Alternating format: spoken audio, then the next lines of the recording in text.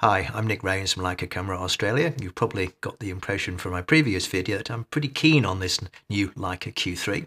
So let me explain to you how I've set the menus up in this camera and I'll explain to you as well the reasons behind those changes.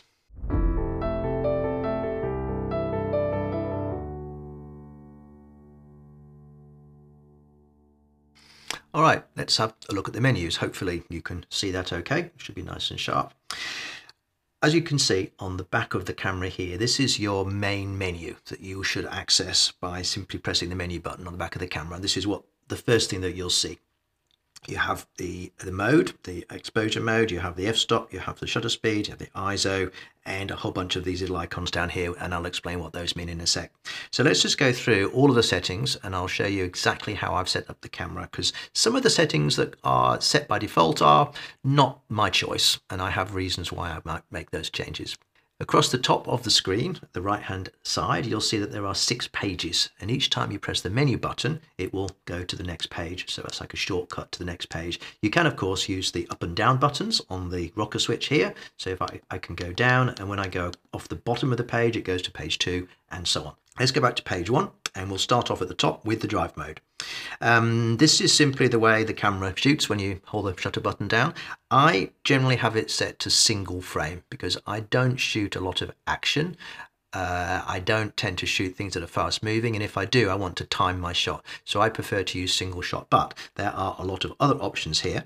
You'll see the description in the menu. This one is two frames a second or four frames a second here. Now, you'll also notice that it says 14-bit AF. So at its highest quality settings, the camera is limited to 4 frames per second. That's with the full phase detect autofocus and shooting in 14-bit RAW.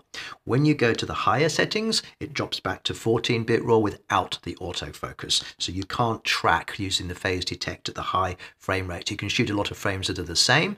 The autofocus will give you the first shot, but the next sequence of frames, it won't do it. That's just the nature of the camera, the nature of the super high resolution files. There's a limit to how much this processor can keep up with the data flow of more pictures being taken over and over again.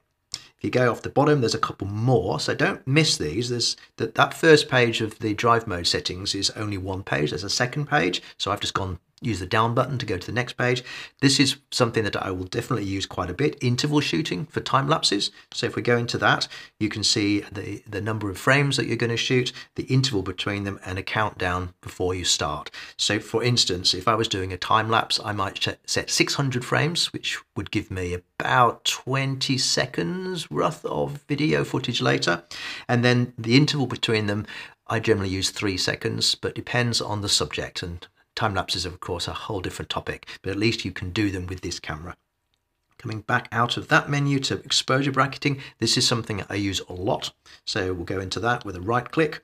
Number of frames, I generally do three. EV steps, definitely one is not enough.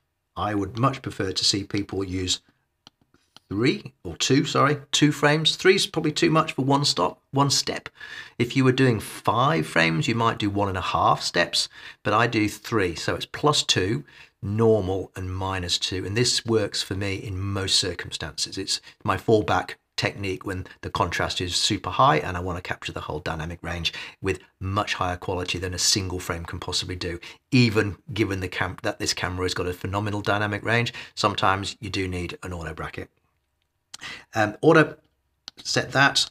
Exposure compensation we can leave alone because we can override it later. We'll come back to that. And automatic means it shoots the three frames with one press of the button, not one press per frame. So you'd have to count one, two, three. If you put it on automatic, one press, one, two, three, and then it's done. That's the way, to me, it makes much more sense to do it that way. All right, next, so that's the drive mode. This may be a long video because there's an awful lot of options to talk about here. Self-timer, wonderfully, the designers of this camera have separated the self-timer from the drive mode menu. On some of the other cameras, the self-timer is in the drive mode. So if you want to do some sort of long exposure, it's very, very difficult to do it with the time uh, self-timer set instead of using some sort of remote release like the, the Leica Photos app. I love the fact that this has the self-timer that I can choose independently of everything else. It's wonderful. Uh, I tend to use it on a tripod with a two second self timer that I can just press and then wait, take my hands away, and then it will count down one, two, and shoot. If you're doing a group picture with you in it, then 12 seconds is a, a nice time to run back to your position and smile. Okay, focusing. Focus mode, intelligent AF. I generally don't use that. I much prefer to have my camera set to do the sorts of things that I want it to do. And in this particular case, I'm going to change this to AFS. AFS is AF single frame. So you, when you press the shutter button, you'll see the little green box go to green and it'll lock. And whilst you hold your shutter button halfway down, that focus will not change. If you lift your finger and then move it down again, take up that half pressure, it will refocus. But I want to take single frames. Continuous we'll talk about. Uh, okay, so that's AFS. Going down the modes, we have a considerable number of different focus modes of how it actually looks for what is going to be in focus. First one is multi-field. I don't recommend this one because it chooses what part of the picture the camera thinks is the most interesting and focuses on that.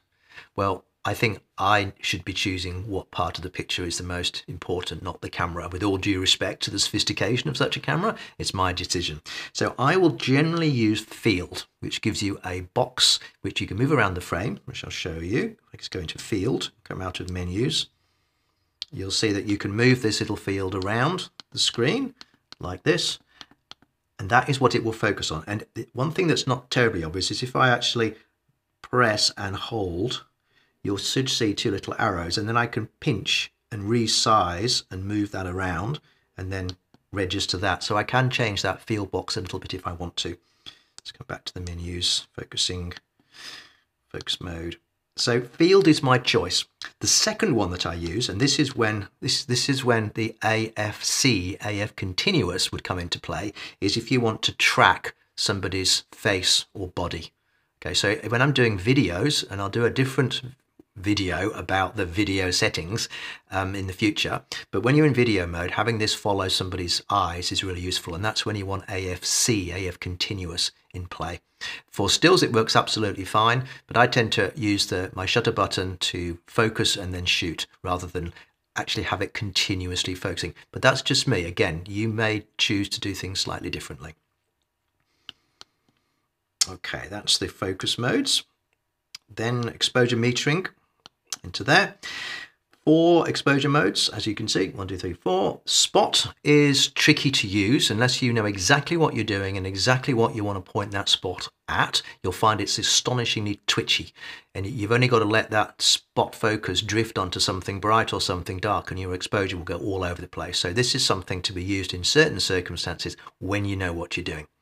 Center weighted is the sort of classic Leica way of metering, and that just basically emphasizes the center of the frame. So as you're looking at the screen here, it would be uh, sort of an area like I'm describing now with my hands. That would be the emphasis for the metering. It's easy to fool by things like these bright windows behind me. So again, it's a little sensitive to what you point it at. Highlight weighted is an interesting option. The idea is it protects the highlights against overexposure. I have found, again, with all due respect to the designers, that it's a little twitchy. And if you have something very bright in the shot, uh, like the sun or a, a light on the wall or something, it will tend to emphasize protecting that highlight. Now, some highlights shouldn't be protected because they're going to blow out because you'll end up getting a, a, very underexposed picture for the rest of the image. Now, I appreciate the intent behind this, but for me, the fourth option, which is multi-field, is the one I use. And this basically measures different parts of the picture all over and it ignores things that are way off the scale, like these windows behind me will generally ignore those because it's too bright but it will tend to emphasize my face and my body and so on. So it's much harder to fool. It gets you into the ballpark much quicker. However, if you've seen any of my previous videos about metering, I did a whole series of videos about take better photographs. There's a, a, one of those episodes there is about exposure and metering, and you'll find out in there that I don't really use the metering modes when I am shooting. I'm using highlight flashing, uh, highlight warning, the flashing when you in the screen that you see when something's overexposed, and exposure compensation. So really, if you're using that technique, these metering modes don't actually matter. But by default, I have it on multi-field metering, and that will get you into the ballpark much quicker than any other metering mode. Exposure compensation, you don't need to really access this through the menus because you can access it through the wheel on the top where my forefinger is here on my right hand. That will give you exposure compensation directly. So again, I don't need that in the menus. Auto ISO, just come back to, I've just gone too far, there we go. On down, auto ISO. Now, this is where you can set the camera to be on auto ISO mode or a locked ISO. So for instance, I can set it to 400 here. The um, accessing it through the menus is a bit slow. I'll come to the custom buttons in a sec because I choose to have this on a custom button rather than having to delve into the menus each time to change it. But that's what this menu option does. So let's go back to the main menu and go down one, which takes us to page number two. And the top one of that is auto ISO settings. And this is important because auto ISO is a very, very useful technique, very useful setting to use to protect you from making mistakes to do with too lower shutter speed for hand holding. That's what it's for. So let's just have a look at that. I generally leave the maximum ISO on, and this is the, uh, remember, each time I show you a new menu setting, this is the default that the camera uh, will give you out of the box, and I'm going to change a lot of these. So out of the box, it will show maximum ISO 6400. First of all, this camera is really good at high ISO, so this is a very conservative setting. But I'm going to set this to maximum, 100,000, because I want the camera to give me a good exposure regardless of the lighting conditions. And if I limit the ISO, you'll often end up with pictures with a, with a, a shutter speed that's lower than you might imagine, because uh, it by limiting it to say 6400 what happens when you're at f1.7 and your shutter speed needs to be below your threshold which is this shutter speed limit here? Well what will happen is the camera will override that threshold and you'll end up with a lower shutter speed than you thought. So by setting this second option here and I'm going to choose a fixed amount 125th here Depends what you're shooting. This is a little bit tricky, but 125th will give you a good, good sharp image under most circumstances. Again, nothing to do with subject movement. So if you're shooting something fast moving, 125th won't work. But this is the lower limit of what the camera will shoot at when the lighting conditions change. If you've got more light than you need, the shutter speed will be higher. But when the light levels drop and you're in aperture priority mode, then you'll find that this is a lower threshold. However, Going back to my point about the maximum ISO at the top of the screen there, if the light drops below the point where 125th at f1.7 is not enough, and your ISO maximum is set to 6400, let's say, what will happen is the camera will override the lower shutter speed limit and you risk camera shake. It won't just underexpose. That's why I set that top level to 100,000. So I've got the maximum sensitivity out of the camera. I'd much rather have a noisy picture at high ISO than a, a, shot that I took at too low a shutter speed and I've got camera shake because I can't fix that. The flash, not using flash, so I'm not really going, going to go into that at all. Next one down, white balance. I think we all understand what white balance is. I'm shooting raw all the time, so my white balance I can choose later. I tend to leave this on daylight. Um, the only time I would set this and be very, very careful about when I'm setting it is when I'm shooting video, because video isn't like isn't like raw stills. You can't set the white point later. Um, you can adjust for it to a certain degree, but if you get the white point miles off in video, you've got a real problem. Okay, photo file format, you have the choice of DNG or DNG plus JPEG or just JPEG. I tend to shoot only DNG files. But under certain circumstances, I will put it onto DNG plus JPEG. And the reason behind that is twofold. One, if you're shooting in black and white mode, which we'll get to in a sec, you will see a black and white view in the viewfinder and you will see a black and white result when you preview the shot after you've taken it okay because it's creating that black and white jpeg if you're shooting raw, it will show you it will show you black and white as well. But you will uh, you will get a color raw file when you open it into Lightroom. The defaults in Lightroom will override the defaults saying black and white here, and it will flick to color. If you shoot the JPEG, you've got a reference point. Also, if you're shooting using the digital zoom, the cropping, when you shoot only in RAW, when you've shot the picture, even though you've used the crop, the preview that you see will be the full image. If you shoot DNG plus JPEG in crop mode, the preview that you see after you've taken the picture will be the cropped version, so you can see what you had in mind when you shot it. It's a subtle thing, but it's quite useful. DNG resolution, you've got large, medium and small, which is 60 megapixels, 36 megapixels and 18 megapixels. The benefit of the lower resolution files is that you have a slightly higher dynamic range. Now, it's measurable for sure, but it's not always visible and I would much rather have the full 60 megapixels of data in terms of image quality than one theoretical step of dynamic range. It's my emphasis is always going to be on resolution rather than dynamic range, which is always going to be good anyway. It's you know 14 or 15. I mean, really, it's it's not that visible in the final shot. So I just leave it on 60 megapixels and have done with it. JPEG settings. Um, if you're shooting RAW plus JPEG for reference pictures, you might choose to set the JPEGs a little smaller. But to be honest, the difference in size is, you know, it's not that great compared to as 80 megapixel DNG file. So if you are really short of disk space, well, maybe you need to buy some more disks. so I tend to leave that on large just because I can. Now you've got noise reduction. This is purely for JPEG. So all of these settings only affect JPEGs. They do not affect RAW files. So if you're not shooting anything other than RAW files, you can ignore all of this stuff. Okay. But if you do want to shoot JPEGs, then these settings will be important. I would tend to use low noise reduction because you don't have much control over it and the noise reduction in Lightroom is so much more sophisticated than any camera noise reduction that you're much better off doing it in post. So I'll leave that on low. Film style.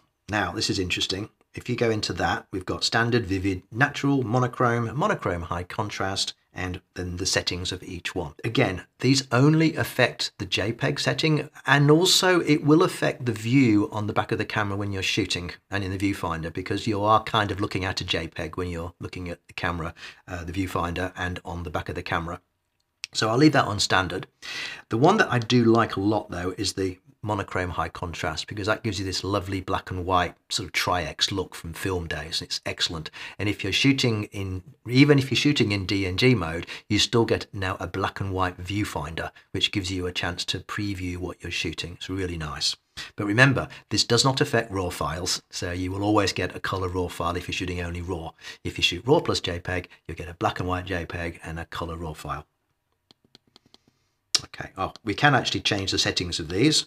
And if I go to my high contrast one, you'll see that you've got some settings down the bottom, contrast, highlight, shadow, sharpness, and so on. Now, I would strongly recommend that if you go to the, the sharpness, that you do reduce that.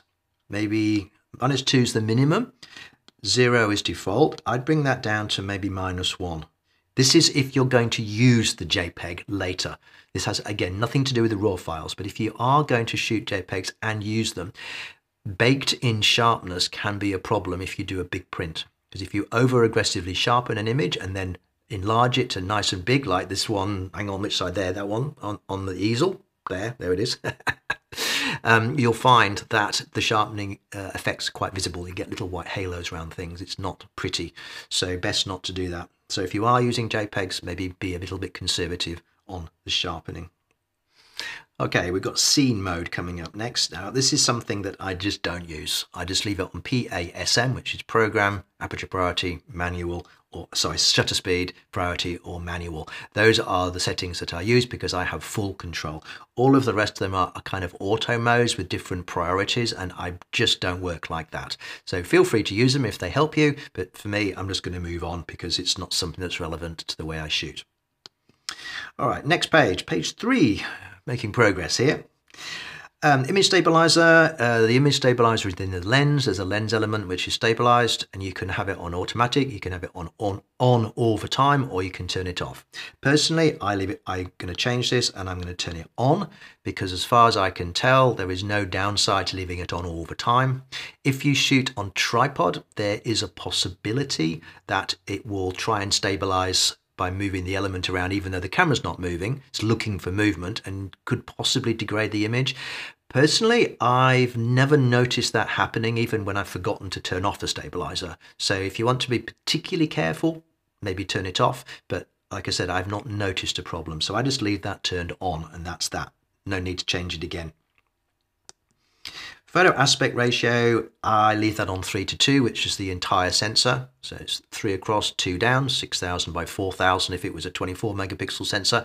I don't know exactly the number of pixels on this camera off the top of my head. 6000 by 4000 is 3 to 2. That gives you an idea of the proportions, but it's basically number of pixels across the top, by the number of pixels down the side. 3 to 2 is the full sensor.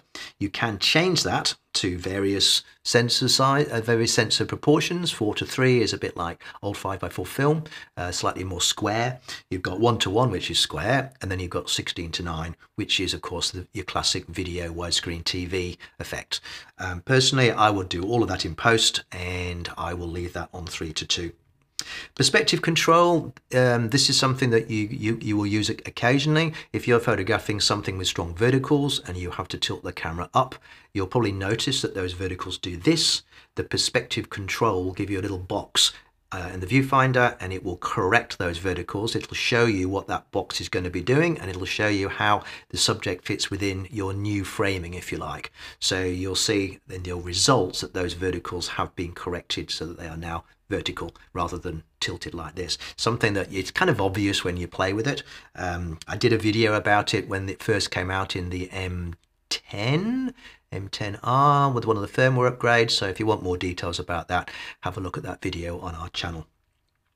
Shutter type hybrid I've got uh, is the is the the default setting. We can leave that alone. Basically, what that means is up to two thousandth of a second I think it's either two or four.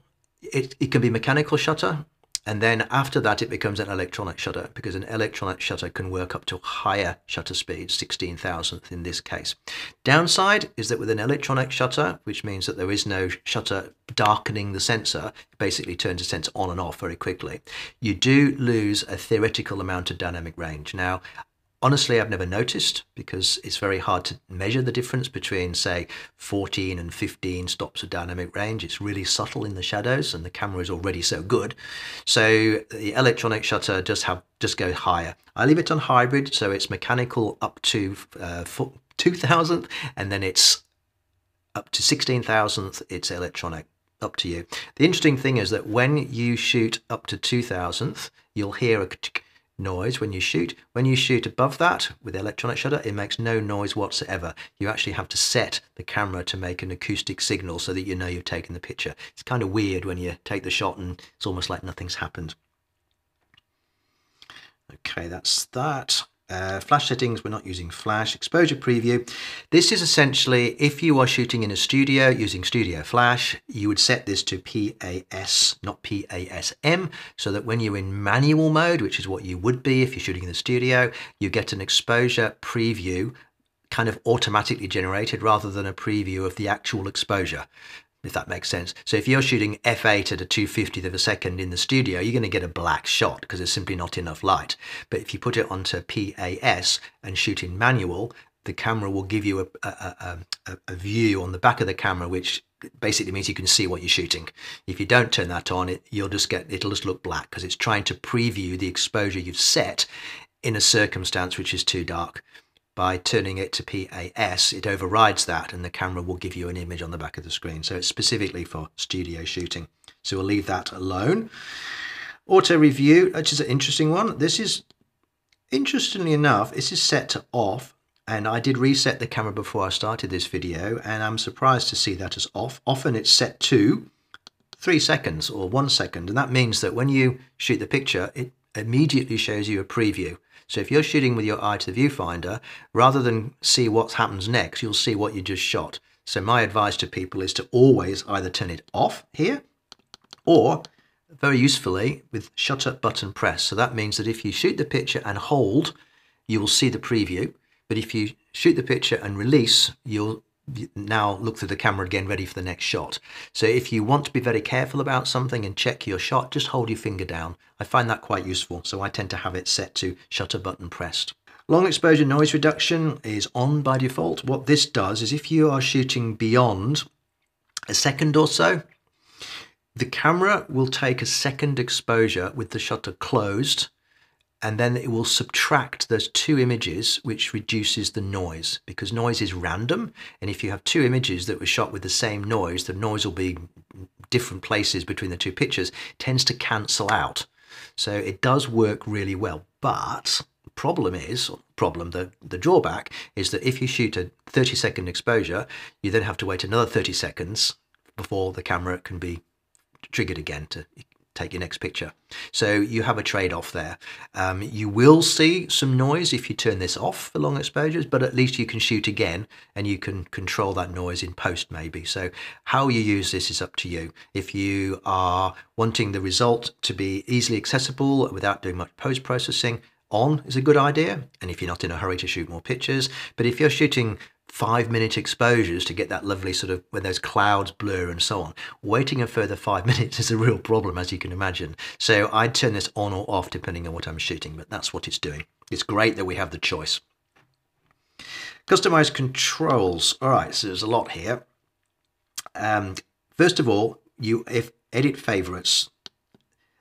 If you go into this menu, you'll see that these are all turned off because they are all turned off, there is no favorites menu. But if you turn some of these on, between your first and second, between your after your first press of the menus, so if I go, well, let me just turn one on I'll show you. So let's go to customize control favorites. I'm just going to turn on drive mode. So that now says on, I hope you can see. Now, when I come out of the menus to the normal view and I hit menu once and then again, I get a, an extra you see at the top there, there's a little star. That's my favorites. It didn't exist before because I had no favorite set. But now I've got my drive mode, which is the one I turned on. And this will show you any of those settings that you've got turned on as a kind of shortcut to menu items that you use more frequently. So rather than having to go to page six or five or whatever, it will be accessible here. Now, personally, I don't use it because I don't really access the menus very often. I tend to use the custom buttons, which we'll come to in a sec. But that's what it's doing. This will not show if I go back into the menu and I go to customize control and I go to edit favorites and then I turn off the drive mode. So there are now no favorites set. When I come out of here now and go to menu and then menu, I'm straight into the menus and that little star at the top there has disappeared because there are no favorites set. Okay, now we've got the function buttons. Now, I am not going to show you how these work here because there was a much better way. Just give you just a quick taste. If I click onto function button one, this is giving me all of the options that I could choose later. All turn, uh, every single menu item is turned on at this point. I can shut them all off because when I come out of the menus, and this is custom button one here where my finger is, if I long press this, I now get a list of choices and all of the ones that were turned on in that other menu under customize controls are available to me here. So if I limit it to only three, I'll only see three things here. But if I turn off all but three, I'll only see three options here. I tend to set and forget these buttons, so I don't really change them very often. So I just have all options available all the time. It seems to me to be a little bit um, too much customization for me. So in this particular case, I've got this left-hand custom button set to digital zoom, which is that crop. If I come out of there again, custom button two, which is the one to the right, by default, that is swapping to video mode. And what you're looking at now is the video mode. There's my voice on the audio there's my video settings here and so on. And you access those settings through different menus, which I will talk about in a different video. But that toggles between photo and video. You could also toggle between the two if I come to the norm menu and you can simply dab there and there just to put it back into photo mode. But you've got the option to toggle it here. Now, I will change this because having shot with this camera for many months now, I've found that it's really easy to knock this with your nose or whatever. And you may find that when you pick the camera up, it's in video mode, which is really irritating. So I tend to change that to ISO. Now, by default, this button at the top is on ISO. At the moment it's set to auto, but I can change my ISO to 400 or something there. That's this button here, but I'm going to hold, long hold this and I'm going to change this to and I'm not quite sure which direction I've got to go to. I want to, there we are, photo video set. So I've now duplicated these two buttons. So I'm going to go back to this button, custom button 2, long press that, and I'm going to go to ISO, which I'm hoping is the opposite direction. There it is. So that now is the ISO button. So if I press that once, takes me to the ISO menu. So I've got the photo video toggled on this button here, and I've got the ISO toggled on this button here. Okay. There is another custom button here as well, and in this particular case, I've got that set to toggle info levels. And what that means is if I come out of the menus and I click this, you'll see the information go from a clean screen to just the basics across the bottom and the histogram, and then to the, or uh, some icons which show you what menu settings I've got. So you've got the option to flick through. You may choose to change that. Now, this would be a good time to explain how this button could be repurposed to give you a kind of focused lock or a, a, a, what they would call rear button focus. The camera doesn't really have it built in like the SL2 and it's something that people have been asking for for quite a long time. But let me just show you how it might work. So I'm going to grab my old Leica 3 as a little test subject because I've got to point the camera at something to show you how this works. So just on the overhead view, I'm going to long press and I'm going to change this to AF, whoops, gone past it, AFL, AF lock. This now subtly changes the behavior of the camera. Now let me just see if I can get this to, if I can demonstrate this well enough. I'm going to tilt that wonderful tilt screen out and you can see my monitor in the distance and you can also see that Leica 3 in the foreground.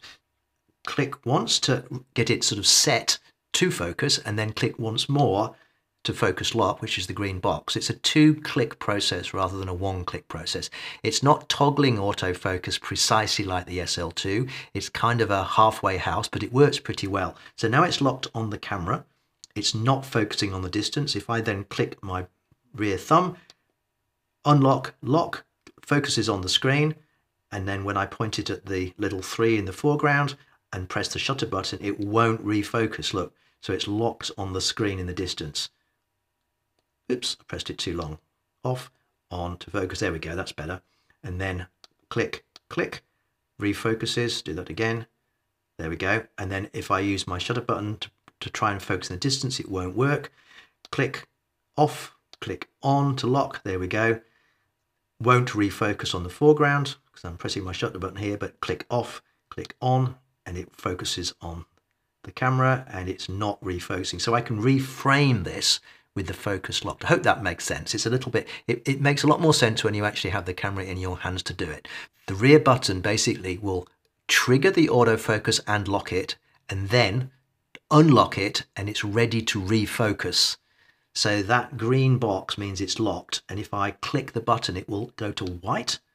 It's now ready to focus with either my shutter button or my rear button and now it's gone green, it's locked, and if I press my shutter button, it won't refocus. And the whole idea is that you're taking the focusing function away from the shutter button. That's what rear focus, rear button focus is all about. There's a lot to go through. All right, moving along. So on the back here, we're still in customized controls. We've been through function button one, two. We've talked about long pressing on the on the custom buttons, wheel assignment, which is an interesting one. This allows me to choose the function of the rear wheel here. Now when it's on auto, the function depends on what mode the camera's in. I prefer that to be locked into one function and that is exposure compensation. I've got ISO set on a different function, which is this little button here, but now I want that to be exposure compensation. And now when I dial the dial, you should see at the bottom here, that little tiny indicator on the bottom is moving left and right and that is my exposure compensation. So that's always available under my right thumb. That's where I want it. Okay digital zoom. This is something that you would choose using custom button one here. Toggle through the settings rather than here you can, if you want to, choose it here, but for me it's much more uh, user-friendly to, to actually click through with the button itself. Be aware that you have to go through the whole sequence, so you have to go 28, 35, 50, 75, 90, then back to 28. You can't go backwards and forwards. You just have to loop through the whole sequence. User profile, you can save all your settings as a user profile. Um, eh, some people might uh, be sharing the camera with somebody else and they have the camera set up in different ways. Or you might have let's say different auto ISO settings if you're shooting sport or landscapes and you might have a landscape and a sport mode or something. Personally I don't use user profiles. It's just me using it. I set the camera up, up once and I leave it alone. Capture assistance. You have the option to have a grid on the back of the screen which is turned off. I'm just going to turn them all on so you can see what's going on so now on the back of the screen, it's not, that's my, that red line is my level grid. If I move the camera, you'll see now that goes green when it's level. I'm not pointing at any, there it is, that's level. I've got it flat on the desk, so that's why the screen's black. You've got a composing grid for your rule of thirds. You've got a histogram in the top right-hand corner. There's also focus peaking is turned on when you're in manual mode. Display settings, um, EVF or LCD, this means that if it's in automatic, when you put your eye to the viewfinder, you see through the viewfinder. and you take your eye away from the viewfinder, you see the picture on the back of the screen. You can change that if you want to save battery to EVF extended, and that turns everything off including the EVF and the LCD until you raise the camera to your eye, then it turns on the EVF only. So normally you'd have the LCD screen on the back of the camera on all the time, which uses batteries. This means that both electronic viewfinders, obviously there's two, one on the back, one in the viewfinder, both of those are on continuously and the bigger of the two is on a lot of the time, even if you're not shooting. So this allows you to put it into a sort of standby mode where the act of raising it to your eye actually starts the EVF displaying, saves batteries. So I tend to I tend to use that when I really am getting low on battery and I really and, and I've got no chance of changing batteries. Very, very unusual. The battery lasts a long time on this camera, but it is like a fallback position if you find that you're getting a little bit low and you want to eke out the last bit of battery life that you've got. So I tend to leave that on auto. Sensitivity is how sensitive this is, so how near something needs to be before it triggers the swap from LCD to EVF. Brightness, I tend to leave all the colours and brightnesses on default because I'm not judging the picture by what I see in the viewfinder, I'm judging it purely on the results and the histogram for exposure.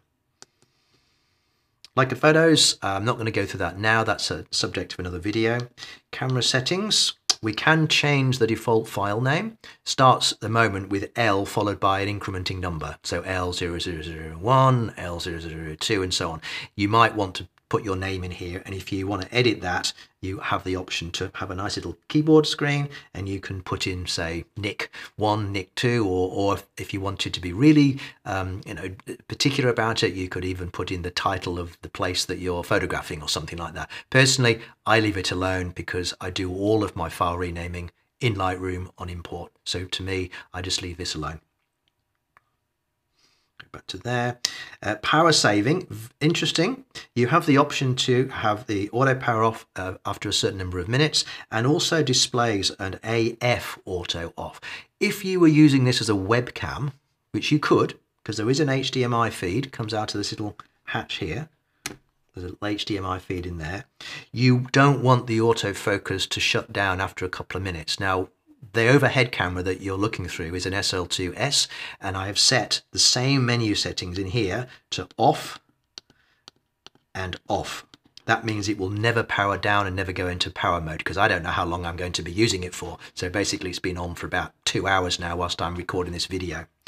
Obviously in the field, you would probably set this to whatever suits you, a couple of minutes and maybe uh, a minute something like that, up to you. But it gives you the option to stop the camera shutting down at all, which is great for if you're using it as a webcam or you're videoing something. Okay, camera information, just make sure I finish that. Oh, power saving acoustic signal. Electronic shutter, remember, it doesn't make any noise, so you might want to make it choose some sort of, um, you know, make it make a shutter speed noise here if you wanted to camera information. This is all about the firmware. This is an older firmware version, which I must upgrade because there's a new one come out just today. So that's a job for later on. Then language is English. Um, interestingly, it's very difficult to, when we did the training in this, all the cameras were set to default in German. So we had to go through and change all that. So if you are demonstrating the camera to somebody whose langu- first language is not English, it can be a lot easier for them to understand what you're talking about if you set their menus into their local language and then you can transfer, if you like, the page and the line and say, well, this is the line I'm talking about from your own camera. So if you were talking to someone about their camera, this can be useful. Obviously, in my case, I just leave it on English. Right. Um, just coming back to the menu, your sort of quick menu at the back here, these are all accessible by touchscreen and sliding around. So my ISO, if I tap on that, there's a little slider. Oops, there we go, press it there. There's a little slider here that you can change up and down like that. So again, I tend to use the menus for that or in actual fact access the ISO through my ISO button here. I've just gone into the video mode by mistake. There we go. ISO there. Okay. Um, these are fixed, by the way. You get these 10 and that's it. So uh, you've got the uh, autofocus mode, you've got your um, metering mode, you've got your drive mode, you've got your photo, your film styles, you've got your user profiles, you've got your metering mode, you've got your white balance, JPEG and or DNG, you've got your Photos app, and you've got access to the menu itself. So there's a various ways of doing things. So there's a lot to change, but I'm hoping that I've given you a pretty good overview of how I've changed the camera to suit me. And once you've changed the camera, that actually might be a good time to use a user profile. Now I said I don't use them very often, mostly because I'm changing this camera all the time and I'm demonstrating things to people. So I never have it in one state. I have to go back and set them afterwards. If I was more organized, and I should listen to my own advice here, I will set my camera up like I've described it to you, save it as Nick, user profile Nick or something like that. And then when I've mucked around with the camera and changed everything, I can then go back and set it to where I had it before. So it's a nice little fail-safe position. Plus, Equally importantly, if not more importantly, when you do a firmware upgrade, which resets the whole camera, it does ask you if you want to save your user profiles to the SD card before it does the firmware upgrade. That means you can save the user profiles to a card, take the card out, or leave the card in actually, reset the camera, and then you're back to default, and then you can load that user profile and have the camera back to where you were before without having to go through all the menus like I just did. It's a nice little time saver. All right, well, I hope that gave you some idea of how I'm using the camera. A wonderful little camera. If you have one of these cameras, change it, make a few changes, go out. Hopefully it'll help you shoot better, but, but, but just go ahead and enjoy the camera. All right, thanks for listening. Talk to you again in the next video.